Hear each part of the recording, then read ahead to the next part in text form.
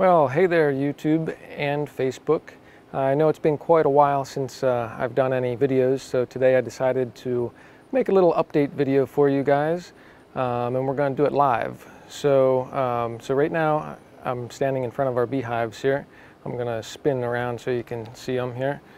Um, so first things first, um, they're doing well at the moment, but this year was a little bit of a challenge starting off. Um, our first, this hive here, um, no, we'll start with the one that's not there at the moment. Um, but the hive that was in that location, it swarmed pretty early in the spring. Um, so they, they up and just left half of them. Um, so, and then what happened was they, they never, uh, they didn't properly uh, bring up a new queen. So they they made some queen cells, but they never uh, made any queens from them for whatever reason. Um, so they ended up going queenless. And now we'll move over to this hive and I'll come back to that one in a second. So this hive was doing really well in the spring, um, so well that it was getting ready to swarm. So rather than letting it swarm, we decided to um, split the hive.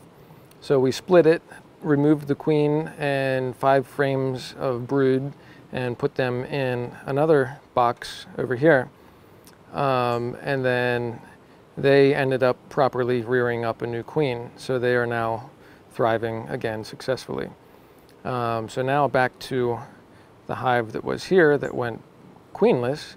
Um, they actually started to lay, uh, the worker bees started to lay drones uh, so we, uh, what we decided to do is to combine the hive that we split from this hive and combine it with the two hives, both those hives.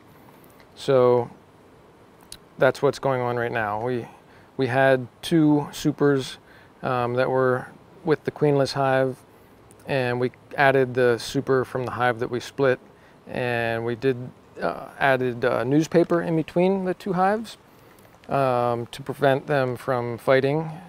Um, so that's what they're doing right now. As you can see, newspaper shreds everywhere.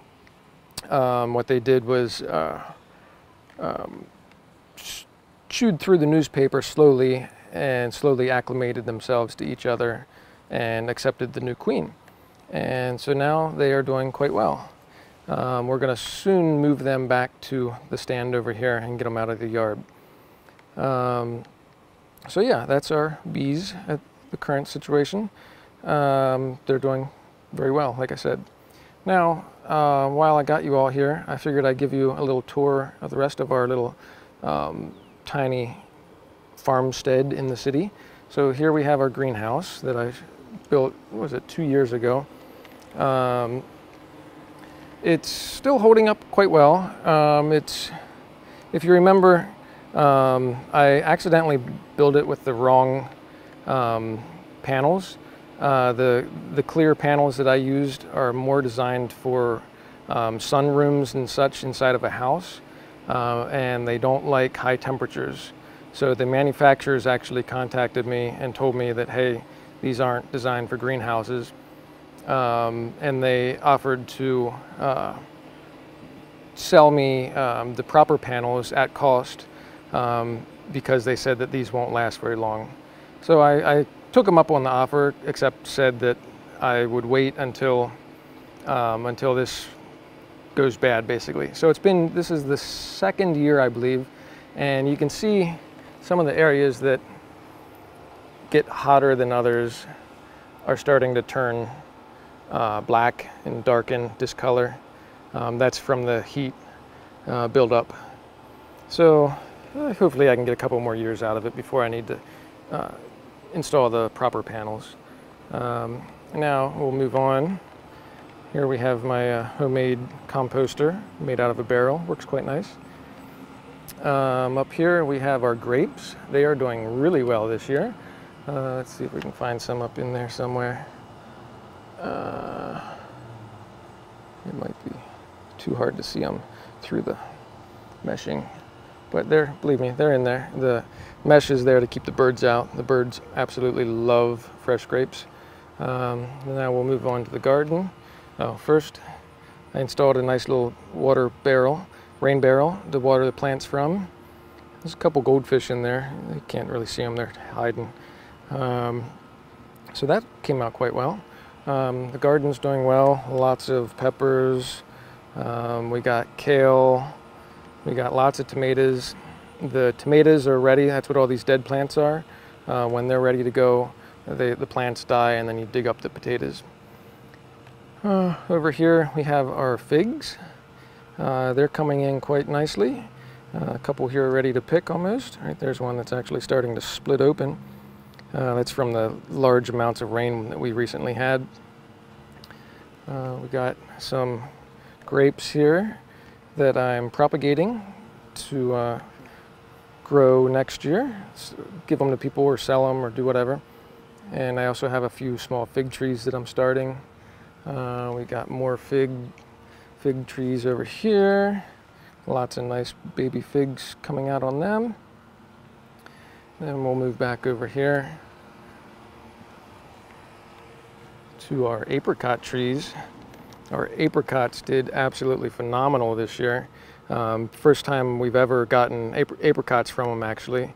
Uh, mainly due to the fact that they blossom really early in the spring and this spring they did not get frosted off so they all survived. Um, the first tree in the middle here, this one, um, is a, a, super sweet variety. Um, it, it tasted almost like a, a, peach rather than a fig tree or a apricot.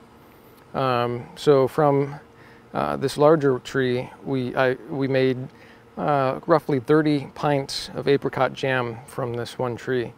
Uh, so we're going to be eating lots of apricot jam. Nice little banana tree.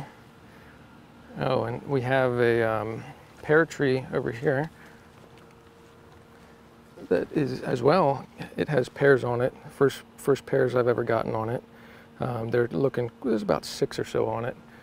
They're doing really well. I'm super excited to try them out this year.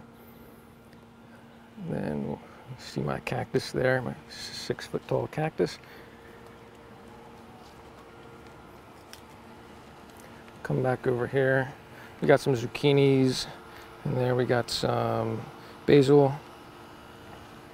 Lots of different pepper types. Here we have my uh, mushroom logs. Uh, let's brighten it up here a little bit. They're in the shade. Um, they're uh, shiitake mushrooms, um, as well as some mint growing around them. It's just a type of wild mint I found out growing in the wild.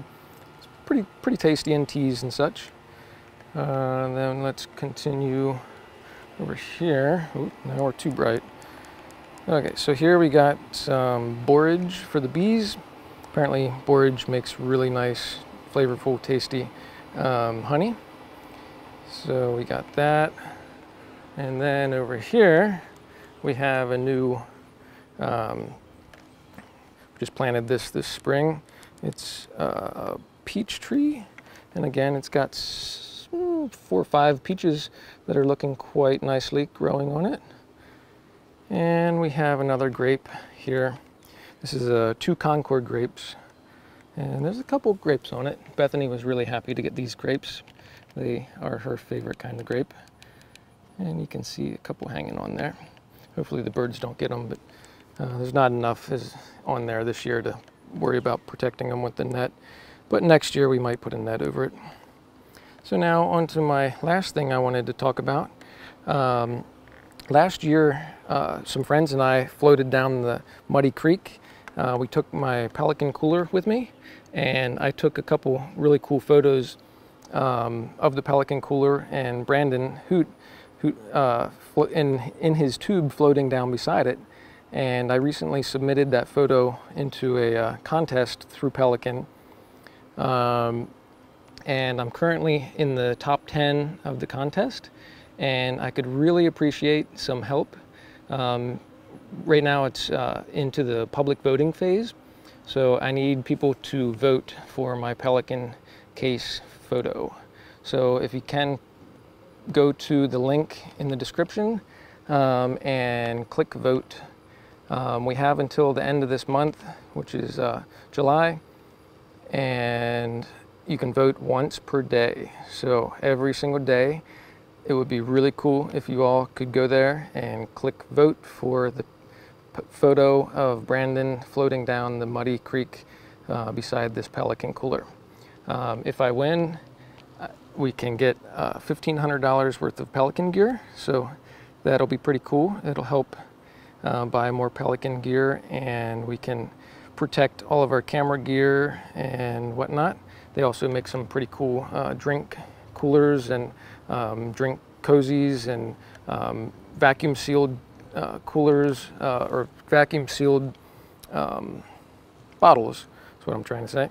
Yeah, so anyway, that's all I have for you today. Um, please like and subscribe to my channel to learn more about our awesome um, urban homesteading in York City. Thank you very much. See you guys next time.